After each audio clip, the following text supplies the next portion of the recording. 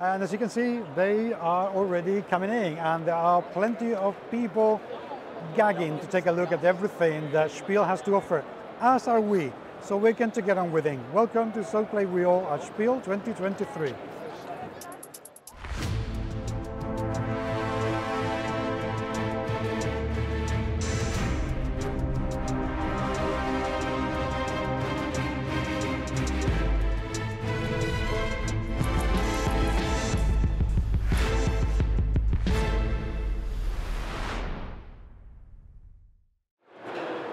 We, we are going here from being a contraband insider to doing a nightmare sushi sort of game. Uh, Geoffrey, what, what, what why? Why? Oh, okay. Um, well, uh, for Good Spirit Games, right, we have this uh, design philosophy whereby we're trying to create a unique gameplay as well as unique themes. so this time for Nightmare of Sushi, right, the concept is we're trying to create something that is both positive and negatives. Okay. So everyone loves sushi. Yeah. All right. So rarely you find something that you know criticizes sushi. But this time I'm trying to create something different. What if, right? Okay, this amazing meal became a nightmare, Okay. and we can make some entertainment out of it. Yep. So that's the uh, that's the idea for this second game, uh, Nightmare Sushi. Yeah. Okay, which I have to say as well, okay, we have the most metal chef there is on the cover of this game. Yep. Uh, metal Nightmare Sushi. Okay, so uh, jokes aside, how does uh, Nightmare Sushi play? Sure. Okay, so each player, you have to make sushi, and then you get to eat either very good sushi or bad sushi. Okay. All right. So each player have five uh, sushi cards. Each all of them, right, will have different gradings. So you have grade A and B, which gives you points, and then you have grade D and F, which give you penalty points. Okay. All right. Grade C is somewhat like home cooked food that only you appreciate it. Yeah. So you have uh, five sushi cards whereby, all right, each player you will, you will discard one card out and you have four cards left. So each round you are to make sushi. Okay. And maybe you're trying to encourage players to eat it or not. All right. And then along the way you'll get to eat either other players' sushi or the special chef. All right, which is another Japanese dog. Yeah. All right. Yeah. So the special chef has two extremes: either very good or very bad. All right. So at first it's a gamble, but later on it's more of a deduction. Oh, okay. Yeah.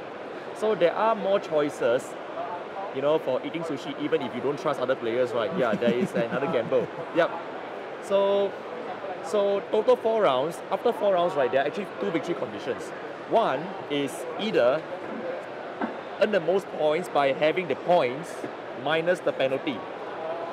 All right. So the most points win. All right. Of course, there's the other objective, right, or the other victory condition is the first player throughout the game be the first to reach 10 penalty points automatically wins the game. Yeah. So for the concept of this game, right, is either you're having the best outcome or the worst outcome. Either way, you win. Yeah. So that's the twist of the game. So I can win this game by being a bad, evil chef that gives food poisoning to my friends. Well, um, so for this game, right? Okay, Yeah. when you make okay, let's say if you are going for the positives, okay, when you make a good sushi, you're hoping that you eat it yourself. Okay. So as we select the sushi, right? Okay, if nobody chose your sushi card, you have to eat it yourself. oh. Yeah, yes. So if you're evil, right, okay, all right, usually is you're trying to cause a huge deduction if they're going to the positive route. But if someone going to the negative route, as if the 10 penalty points, right, maybe you as a chef, right, okay, you're trying to encourage people to eat the good ones. So that, sorry, I mean, yeah, the good ones. So that, um, you know, they will not reach the 10 penalty points that easily. So there are a lot of decision making, whether you know you're trying to guess, you know, uh, the path of the player, whether they're going to negative or positives. Yeah. So it's really depending. Yeah.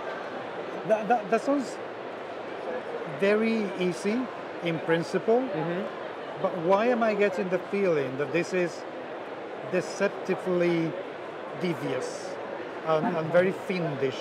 Yes, yes, which is why the title is called Nightmares of Sushi. Yeah, so uh, finish in a way, right? Because in the end, uh, it is a it is- it is a deduction game, and for deduction game, right, I personally find it uh, having some mind games, Yeah. bluffing, deception, all right, adds a certain fun elements uh, into it, and as well as uh, creating a certain kind of a unique gameplay.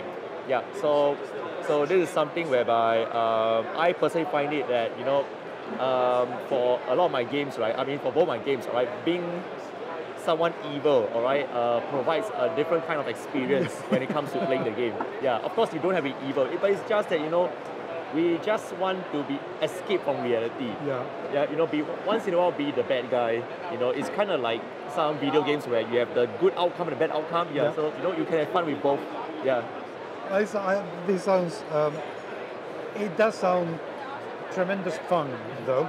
However, I'm seeing some smaller cards in here Yep. that we haven't spoken about yet. So Yes. what, what are these cards? All right.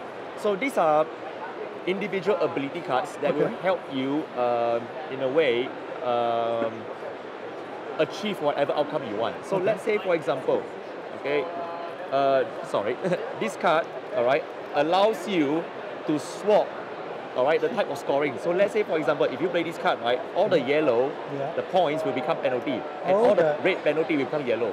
Yeah. So this card could help you change some, make some uh, decision, all right, because as we play each round, mm-hmm. okay, the cards will be discarded on the table. And then, right, as you see the table, right, okay, the discarded pile, it will be placed above the discarded pile. So from here, right, you see what were the cards that, that was played in the previous round. So let's say, for example, if you know that this player, right, has been, has discarded the extreme negative. Yeah. So definitely the blue player will not play the same card again. So let's say, what if I want to earn more negatives, all right? Cards like this will help you. Okay. Yes. So some, for example, whatever you choose to eat, the result is times 2 Mm-hmm. Yeah. Some will give, you know, uh, if you're only player playing this card, will you'll choose a player to take a penalty, Mm-hmm. increase yourself.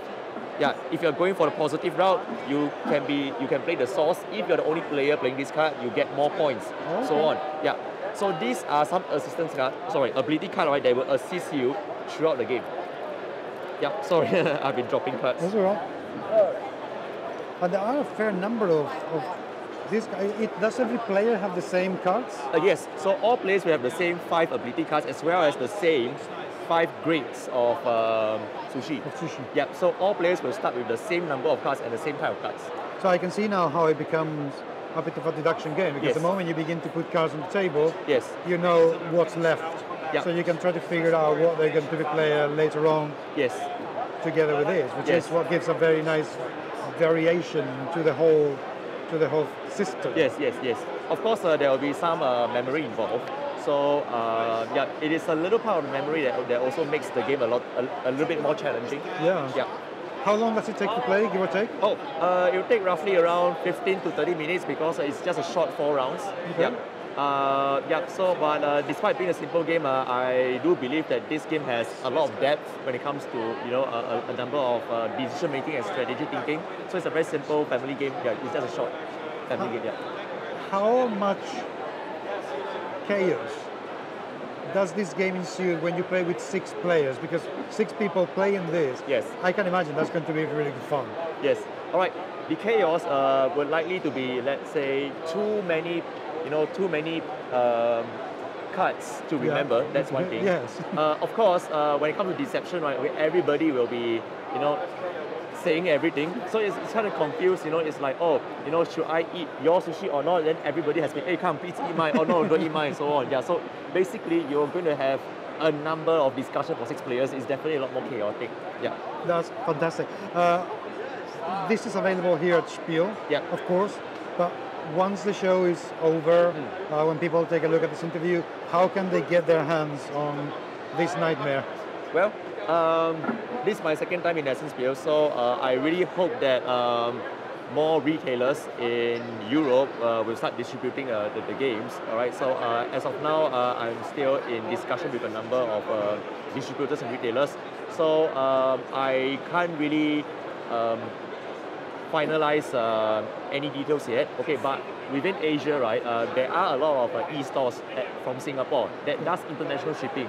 Yeah, so uh, I do encourage the viewers uh, to uh, to look at the Instagram and Facebook uh, profile, uh, sorry, uh, channels uh, for for Good Spirit Games. Yeah, so uh, after Essen Spiel, right, there will be some details on where to get the game online. Fingers yeah. crossed uh, that you'll be interested in this uh, because this is a brand new, completely different experience on sushi, or at least I hope so, because uh, getting food poisoning from sushi must be really horrible. Yes, it, it never happened to me, so I hope so. Uh, Geoffrey, thank you very much indeed. This sounds really, really, really good fun, and I hope it's a massive success. If you have any questions about this, please let us know. You know, put them down there in the comment sections of the video, and we'll do our best to answer. And um, let me know what you think. It'd be good to know. Uh, keep an eye on the channel. More interviews coming very, very soon. And until then, take care. Take care.